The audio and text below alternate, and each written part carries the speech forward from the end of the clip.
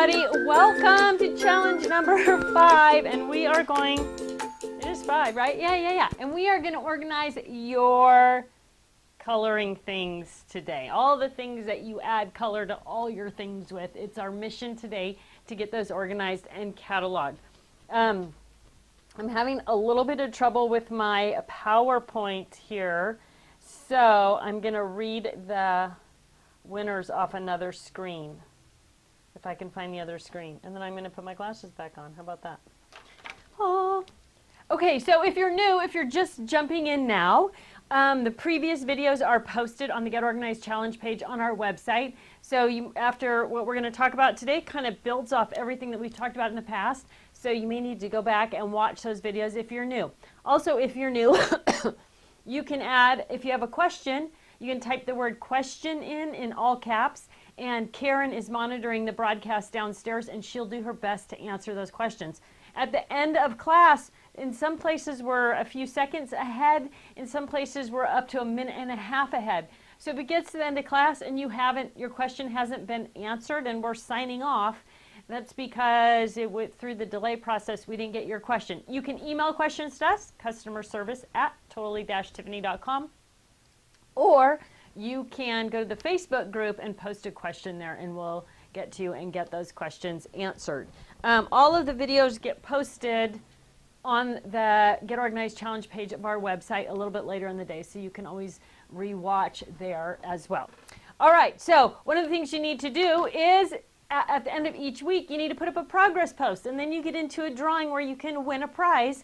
And this week's winners are Lori J. Patterson, and she said she has been a stamp cataloging fool. Over 452 stamps she cataloged this week. So way to go, Lori. And if you're on the Facebook group, I hope you'll read her post because she does give some good tips and tricks for the process that she went through, as well as um, showing some images of her uh, catalog. And then our second winner is Caroline Core, if I'm pronouncing her last name right. Um, she says she scanned all my stamps, an entire bookcase of them. Woo! You guys were busy, busy, busy this week. 90% um, of my embossing folders swatched and sorted. My punches were already sorted and displayed on the wall. Won't be done with this challenge by tomorrow, but I'm well underway. So way to go, everybody, uh, for all the hard work this week. All right, let's jump right into challenge number five, color your world. Um, so it's our goal in this challenge to, excuse me, it's our goal in this challenge to get all of the things that you have together and cataloged and organized. And um, biggest challenges here are that there's so many different shapes and sizes of things as well as different ways that things are used. So we're going to do our best to pull all those things together there are going to be tons of different ways to store these items. And so I want to lead you back to that same question that I'm constantly bringing up, or questions, I guess. Where do you craft? When do you craft? Who do you craft with? Right? Before you choose the right tools for organizing your inks, chalks, pens, you need to keep that in mind. If you're somebody who always crafts at home, you're going to use something that's more stationary, like what I've got here. If you're somebody that always travels, you need a bag that you're going to be able to travel with those pens or markers or glitter. So keep that in mind as you're deciding what types of tools to use. I'll show you a few of them in class today and um, that a few that we offer and, and who I think they work well for um, at the very end of class. All right. Uh, so the first thing you're going to do is gather all of your products together. And I'm going to encourage you to kind of gather them together by brand.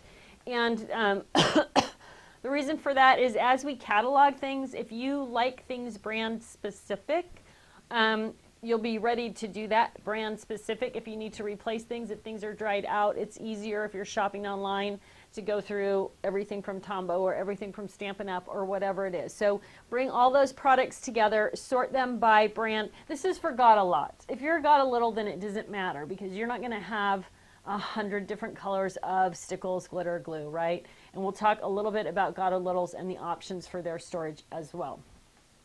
Um, sorry, I got to click to my next screen here.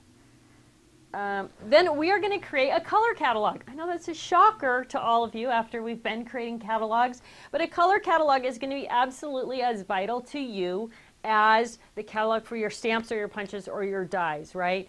And there's a couple of benefits that come with creating the catalog. Um, and one of them is you find out how many duplicates you have of the exact same Tim Holtz ink pad or paint bottle or whatever it is. but you also get to try, sorry, I have to make this bigger. Hang with me a minute, ladies. Let's see. Now I can read without my glasses. All right.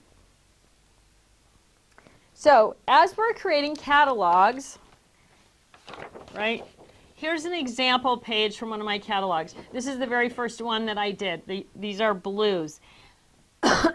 you can make your catalog on any size paper that you want. I usually keep this in a supersize single in the catalog section of my scrap rack. I pulled it out of there for class today. But you can see that I've got markers and glitter and paints and inks all on the same page. Now, this paper actually came out of a uh, paper stack that I bought called Blacks and Whites that I thought, oh, this is so cool. I'm going to use it all the time. And um, I used like three sheets out of the however many were in the stack. But luckily they're white, plain white on one side. So I'm using them to create all my catalog sheets. So you can see here's the different, all the different black and white patterns that I never used, but I, I had good intentions. So that might be a good use for paper, ugly paper that you've got. If it's white on one side, it might be great catalog paper. So you're going to create that color catalog. If you are uh, particular to a brand, you might want to create a catalogs, catalogs by brand as well. And there are some shortcuts on the internet for doing that.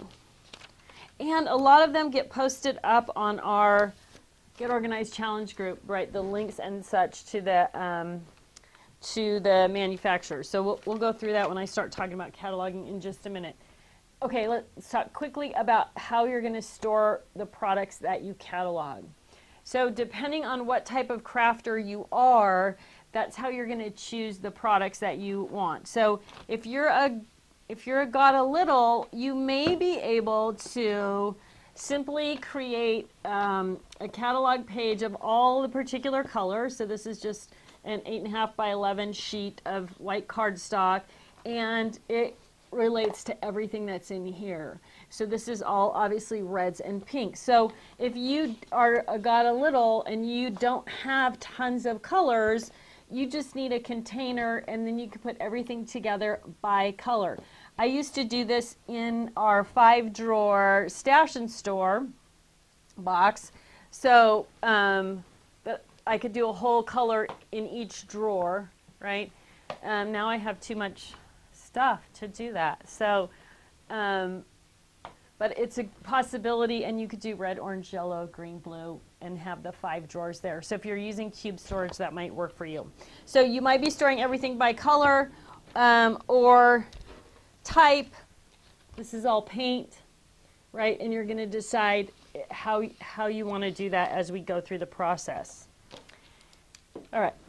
Um, got a little store by color. Okay, so let's talk about making that catalog. Working through your colors, whatever they are. So um, and then indicating where you have them stored. So if I look, if I say, oh, I want this bright blue paint, I can look at my catalog and go, okay, that blue paint is in drawer number 18. I can go right over here to this drawer that's labeled drawer number 18, and there are those blue paints right there, right? So it's really easy to find whatever it is that I'm looking for. So just like we cataloged everything else, you are going to make a representation of that color and then you are going to tell yourself where you stored that particular color, right? And again, you can do multiple, just like we did with um, with the other products. Maybe you have you have all the Tim Holtz products and color products as well. So you might have a color page that has the Tim Holtz colors, and then also a Tim Holtz page that has all the different Tim Holtz products that you have um, if you want to uh, catalog those by color as well. So these are great big color sheets. This is what I started with, as I mentioned. And then I got this great idea. Well, I'm going to backtrack, right? You guys are used to that. Sorry. I, I mentioned briefly about there being charts on the internet um, or but manufacturers. So if you collect a particular manufacturer, this is the Copic marker uh, printable, and it has a little box for all the Copic marker colors, and as you buy them, you can color in the box, and then you know which color you're missing, right? So a lot of manufacturers do something like this. This is the Memento ink chart. Tim Holtz Distress inks, Tim Holtz Distress stickles, regular stickles, right? So the thing with stickles and other stuff too, like Nuvo dots, drops, um, anything like that, is that they are different colors on black than they are on white. So someone suggested way back when we first started to add this black line, which I did with construction paper and now I could tell which was what what stickles would look like on light and on dark and that worked really well. And then I thought well can I just print that in an Excel document? And um, then I could do light I could just make this line dark and so I could do light and dark again right? So that led me to create what we call are the Pika hue color charts and there are three of them, and these are downloadable and printable right off our website. So this one is called Glitter Glue. It has the big um, black line. Now, what we discovered last challenge or the challenge before is that some glitter glues make the um, make the toner on your page run and it changes the color on them dramatically, right? So you look at it and you go, wow, that's dramatically different on dark. But really what it's doing is making the um, color from the toner bleed. So just something to keep in mind. They don't all do that, just some of them do that. But so we have one for stickles, a Pikahue color chart. These are all on the Get Organized Challenge page on the website. You can just print them off there. Um, this is the, and they're um, PDFs. So these are these were created in Excel, but they're PDFs, so if you don't have Excel, you can still print them. Um, this is for pens, and this one is what I call big boxes. it's constantly evolution for me, right? The big boxes is what I prefer to use for everything now. Um, so you can see, here's my color catalog for green.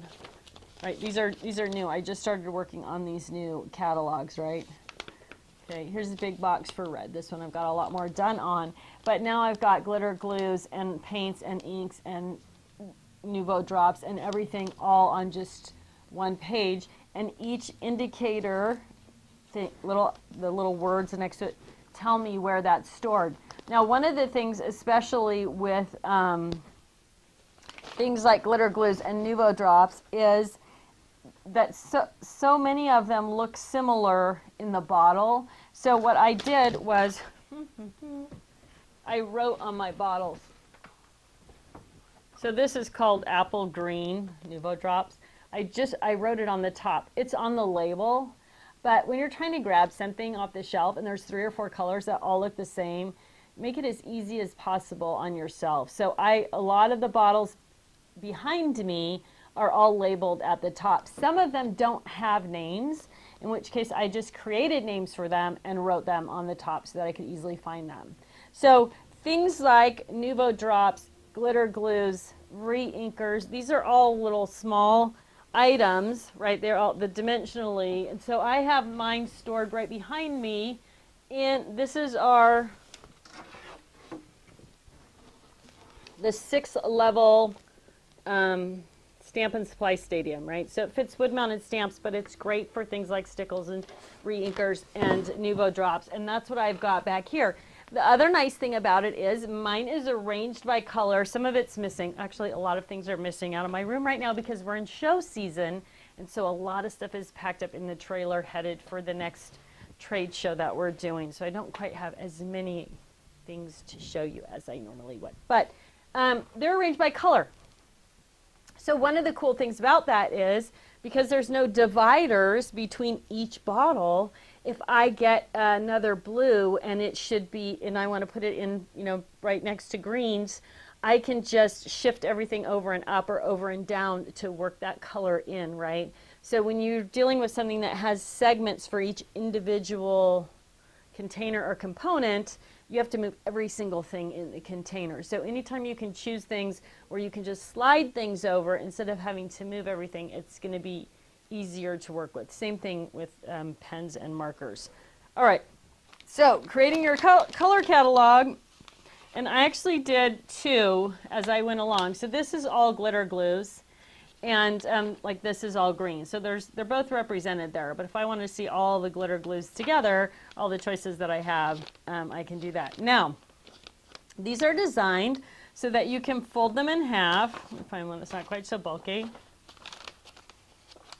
We'll do this one because it's already so they have this little line down the middle that says fold. So you can just fold it in half and then you can hole punch through each square. And why would you want to do that, pray tell? Because if you're trying to match an ink or a pen or a glitter glue to a particular color of paper, you can take that color of paper and put it behind there and then you can see through to know, oh yeah, that, well, none of these look good with this orange, but, but you, whether you're trying to match something exactly or you're trying to get a good contrast, now you're able to put that color behind and you can see, does that ink or that glitter glue, is that perfect for my project? All of us have created a project where um, we thought, oh, this is the perfect color, and then you you start into your project with that color marker or ink and find out that is not the perfect color, right? So you have to create some element to go over the top of it or start again or whatever. So this is going to make it easy for you to find to match up the colors that you want. And you can do the same thing just with the with the other color sheets. Oh, I want to use a green with this red. No, this top one. Let's see. So you can put that other color behind it well, you guys probably can't see on the camera anyway, and see how are those two things going to look together, right? So not only can you use it on projects, uh, you can use it with each other to find inks or chalks or pens or glitter glues that all are going to work together. So the Pikahue color charts are what I'm changing over to for all of my um, color cataloging, right? So slowly but surely I'm working through that. I did get through all the stuff that was on the shelf behind me and most of my Spectrum Noir markers, which is what I've got kind of right here in the big squares as well, right? So again, the Spectrum Noir markers are going to drive me back to where those are right here. One of the things, I think I mentioned this before, that I love about these Spectrum markers is they have a color code at the end. So I can write that color code right on my chart and know exactly what color I'm getting, right? Um, if you don't have, if you're using a brand of marker that doesn't have the label on the tip, and especially with double tip markers, which we're trying to keep laying flat for storage, um, then it's a little bit more difficult to find exactly the pen you want because you, the name of the pen or the number of the pen is generally on the side. There's a couple of ways to combat that you can make an insert that looks something like this, right? That gives you all the colors and then you can write the color name. So this this is actually doesn't have the color name because these are um, Copics, which also have a code at the end. But if you color a card like this and set it on your tray, now the gal who came up with this idea, what she actually did was she folded it over like this in her pen and ink palace, right? And then she put it under the pens. I'm going to show you. It'll make more sense. So what I've got here are two pen and ink palaces double stacked. Um, I pull my things out of here constantly because they are like everything else and they become things that I'm demonstrating with as I'm traveling around. But she, um, oh, I didn't fold it short enough. But this is what, just going to pull these out so you can get a better idea. I thought this was really a great idea, actually. How does that look, Leanne? I can't actually see it, but... So now you have the example of the color and you know where to put the colors back in as you take them out, right? So she did her whole thing across. Um, her name is Jennifer. Shoot, I will get a link out. She put up a blog post though about how how she labeled the things in her um, pen and ink palace, right? So if you have something with the tips at the end, that's great. If you have to write the color, if you have to um, know what the colors are, you might have, if you don't have the, the label at the end, it's a little bit more difficult because you have to pull the pen out and look at it. Personally, um, I don't want to sound like I'm anti any particular brand, but it's so much easier when the numbers are at the end of the pens that I I am pro I will probably not buy markers anymore that don't have that. Now I folded this too long, so I have to take it out of there. Look at me, I'm just making a huge mess here. All right. I'm just going to move this out of the way for the moment. Okay. This is why my things are always kind of messy because I'm constantly pulling things out and I'm going to have to rearrange them. But I'll go back to, as I'm talking about rearranging these, back to the comment I made about using something like this where you could slide things. I just put all those pens in there, right? Some of them are going to be in the wrong place. If I had individual slots for each pen, I would have to take all the pens out and move all the pens over. But because the slots are, um, because there aren't any slots, I can just put things in order easily by just moving them back. I don't have my glasses on, so I'm not sure that these are in order, but I'm just going by the colors. Oops. Right? So I can put them into order pretty easily by just moving them around that way. All right. So I used, I, and I had a question about this. Some of the Pikahue charts, I used a bigger hole punch. Um, I had one that was a triangle that people really liked, and I don't know, where's my sample of that? Yeah, I don't have it. Uh, this is a square punch, right, at the bottom of this one. I just punch the holes in it. You're going to use the same technique if you're using a square punch as if you were using just a regular hole punch like I used on this. You're just going to fold it over, put the punch on, right? Now, this is a good time to put your punch upside down so you can make sure that you're lining it up. Do I have a punch right here somewhere? Um, of course I don't. So I, I put my, hang on, hang on.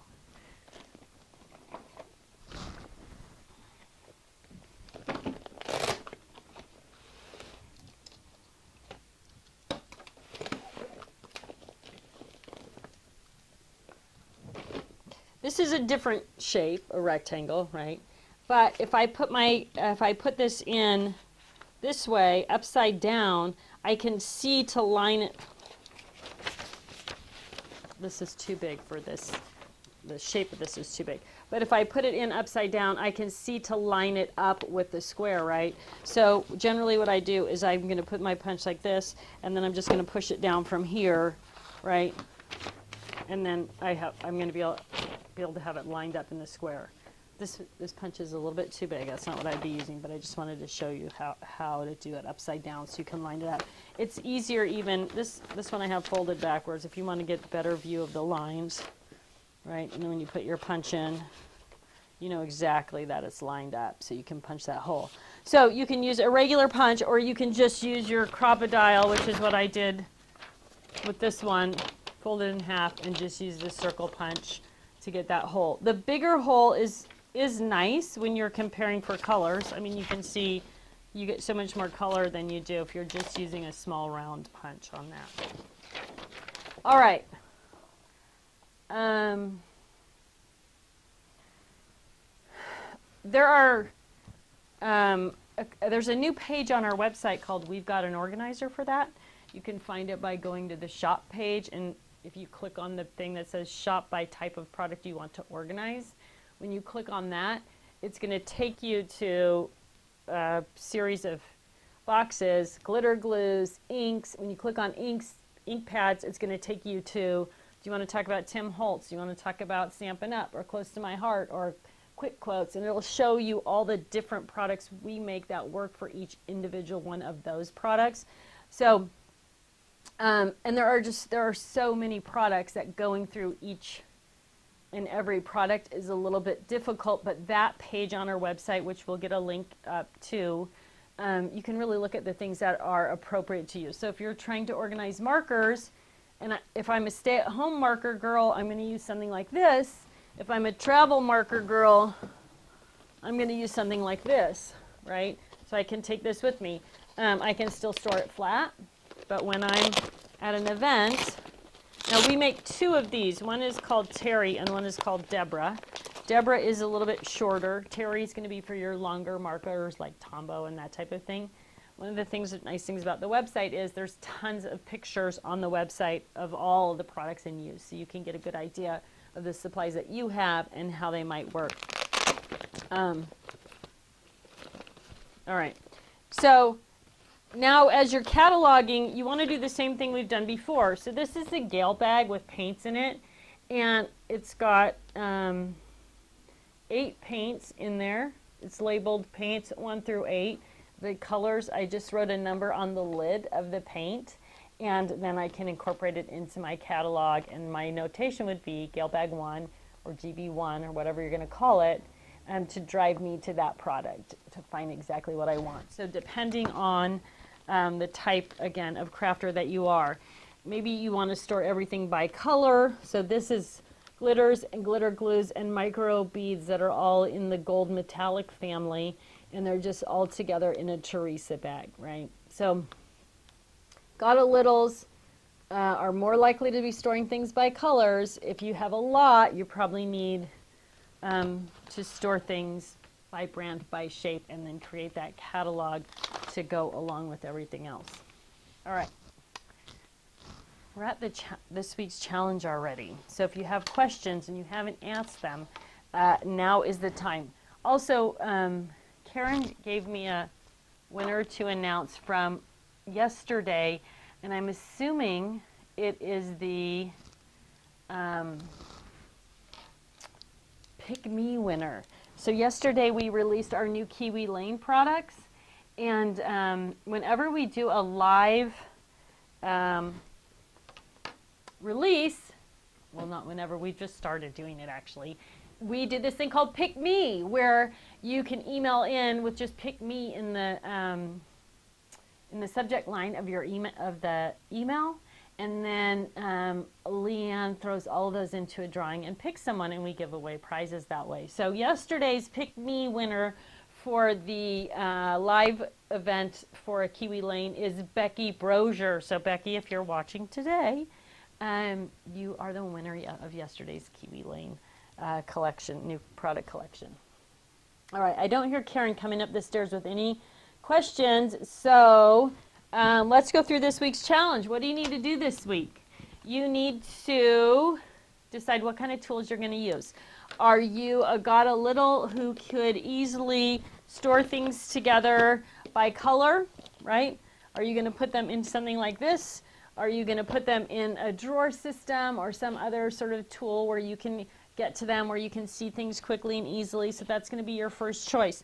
If you are a Gloria Got a Lot, then you have to figure out how am I going to store my, my whatever it is, whether it's stickles or paint or re-inkers, any of those type of things. Do you have space where you can have everything out and accessible because that's always the best use of things or do you need to pack things away and then bring them to your workspace? These are all the questions you need to ask before you decide what kind of tools am I going to use to store my coloring supplies. Um, I will say this guy, the Pen and Ink Palace, we have available on our website in this size. It's only nine inches across. Um, we will have the bigger version, the 15 inch version, available um, around the first week of March, available on our website. Uh, the 15 inch version of this product is available now on HSN, Home Shopping Network. So if you have tons of markers, this I, I didn't sh show with ink pads, but it also, because the trays in it are flat,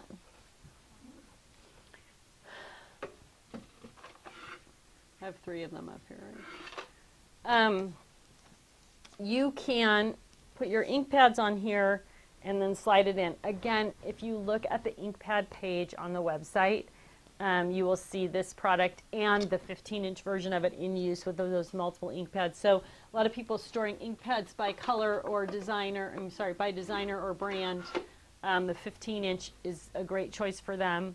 If you don't have a ton of inks, um, maybe the 9 inch is good for you. Also, you can store your markers next to the ink pads that they match. All right, so that's your first thing. What are you going to do for storage tools? Figure that out. Then you want to gather everything together by and group them together by manufacturer. And this could include if you have um, if you have Stampin' Up! inks and Stampin' Up! re-inkers and um, Stampin' Up! markers, you want to put you don't want to put you want to put all those things together initially, and then so Stampin' Up! markers aren't going to probably fit in the same place that Stampin' Up! ink pads do or the re-inkers for that matter. But you want to know I have the marker and the ink pad and the re-inker and you want to get all that stuff into your catalog so that later when your ink pad starts to dry out you can be like do I have that re-inker? Yes I do based on your catalog and then you can go and find it. So put all those things together when you're doing your catalog um, so that you know what you've got and what coordinates as well. All right. Um, then you're going to create your catalog sheets by color and possibly by brand if that's if you have a lot or you like a particular brand or you want to know which brand things are. Your goal this week is to sort three containers of coloring things. So whether that's markers or ink pads or glitter glues, whatever you've got to get that sorted and cataloged. Post your progress so you can get in the drawing for the prize. And then enjoy your reward, ladies. Um, it's so much beneficial. I know I harp on this every week, but the whole idea behind choosing a reward is that you then take that reward and it makes your brain happy and it keeps you motivated and inspired to keep moving forward and keep doing more each week. All right. Um, I think that's it. I guess I should say the stash and store boxes, these guys, the drawer boxes, the five drawer box is available at Joann. Uh, the, uh, the other, all three of them are currently available at Hobby Lobby, but they're going to put something else in place of those. So there was a little post that said these were on sale at Hobby Lobby on clearance. So if there's a Hobby Lobby near you and you want stash and store boxes, you obviously you can order them from us, but Hobby Lobby has them on sale right now. Um, and again, Joann has the five drawer you got to love that 40 off coupon and no shipping. So if you are one of the 500, if you live near one of the 500 Joann stores that carries our product, you can get that there as well. Just a little side note about Joann. They're adding a bunch of new products or more, not necessarily new to you or new to us, but new to Joann um, in April. So I know a lot of you had said, wow, Joann carries the same thing they've always carried. When are they going to add more stuff? Um, all that's coming in April, so watch for a new planogram coming up in the Joann store in April. All right, uh, I think that covers it for the week. So everybody get busy, get colorful. I'm looking forward to seeing your color catalogs posted and all the bright and sparkly things that you have in your collection. Oh, one thing I just wanted to talk about. I know I have all these out. Why do I have them? Because I just want to show you don't just um, assume that everything is good to go. This is a brand new bottle of green paint. Right? It's unopened. It still has the factory seal on it.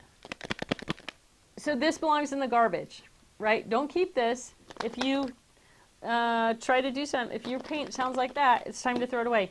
This is a glitter glue, also totally frozen up in the bottle, solid, right? Um, so my point is, I guess, one of the one of the benefits of doing this is that you actually open and test everything. I have a whole set of Sharpie markers. I bought them all at the same time. These two, for some reason, are dried out. So when I was doing my color catalog and I went to draw with these two, they don't work anymore. The whole rest of the set does. Very strange. Caps were on. I don't know. But my point is, test everything, and then when it doesn't work, throw it away. Okay, I'm keeping these so that I can show them at the next class as well. But unless you're teaching a class on how to organize your color stuff, throw your things like this away. All right, that's it, everybody. Get busy. And oh, I won't be here next week. Karen is going to be your guest teacher next week for the photos class, which I don't have to tell you is her favorite. All right, take care, and I will see you in